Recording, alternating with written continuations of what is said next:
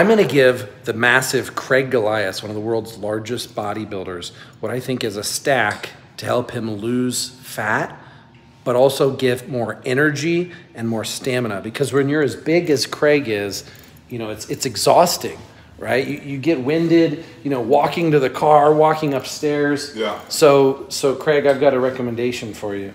Uh, T3 thyroid hormone, which we're going to get your lab work back in a couple days. We're going to know. I think you might have a, a slow thyroid because your energy level's been really low. Really low you, have, yeah. you have symptoms of, of low thyroid.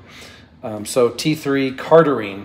Remember cardarine, the the research chem that increases your endurance, gives you more energy, lets your body access body fat for fuel more. You just you're just less winded. Like your cardiovascular system just works better. So for me especially, when I put on a lot of mass, uh, it really helps me be more functional. Like I have more energy, and I have the energy and and stamina as if I was 15 pounds lighter. You know, and then HGH at a really low dosage. So like the MK is fine. And you just take a little bit of that because it helps you burn burn the fat also. And then Code Red Fat Burner. Enhanced, Yeah, I'm taking enhanced Code yeah. Red Fat Burner. So that gives you energy and then also burns fat. And then some kind of nootropic.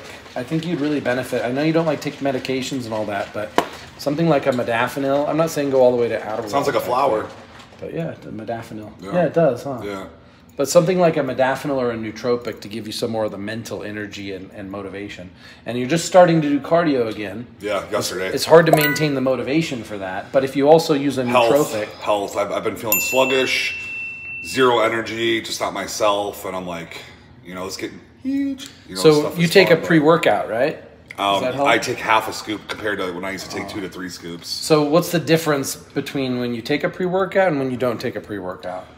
Um, there's no difference really. I take the pre-workout because I put it in my head, Craig, you have a pre in you, so let's crush this. It's kind of more of a mind fuck thing, but I don't really feel too much from a P. When you're when you're around 350, 360 pounds of of man, you know, like it's harder to feel things um, than like a normal guy, maybe like 200 pounds. Kenny's like what 180, you know, so uh, so you know, it's just you don't feel it as good. That's what she said. You know. All right, but- so hopefully you'll report back to us because I'm going to get you some of these supplements.